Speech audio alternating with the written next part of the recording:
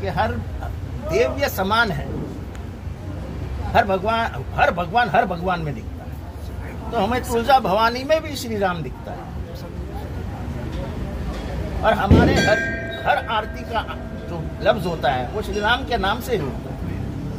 तो इस तरह से हम आज जो अयोध्या में हो रहा है, उसमें कहीं ना कहीं अपना भी सहभाग हो, इसलिए हमने यहाँ आरती की।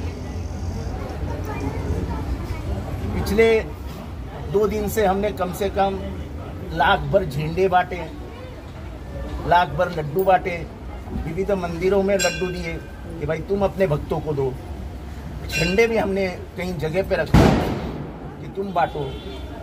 हमारे हमने किसी भी तरह से उसको हमारे पार्टी का लेबल नहीं रखा। हमने लड्डू पे हमारा नाम हमारे पार्टी का नाम नहीं है ये भगवान की पूजा हो रही है भगवान की पूजा निस, निस्वार्थी तरीके से होने चाहिए, उसमें कोई स्वार्थ नहीं दिखना चाहिए, उसमें कोई धर्म, कोई जात, कोई बात नहीं दिखनी चाहिए। ये हमारी हमेशा के लिए भावना रही और यही भावना हमारी रही। मेरा भगवान मुझे काम में दिखता है, मेरा भगवान मुझे हर इंसान में दिखता है। मेरा भगवान मेरी माँ की पूजा जब मैं करता हूँ, अंदर दुर्गा भवानी की, उसमें दिखता है। मेरा राम मुझे हर जगह पे दिखता है।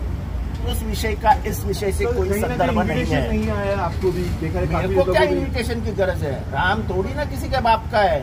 हम मर्ज़ी चाहे तब चार सौ पाँच सौ लोगों के लेकर जाएँगे। हमको न्योता नहीं चाहिए। हमारे बाप ने मंदिर का दरवाज़ा खोल दिया है और हमेशा के लिए खोल दिया है। कोई किसी का बाप हमें नहीं रोक सकता है।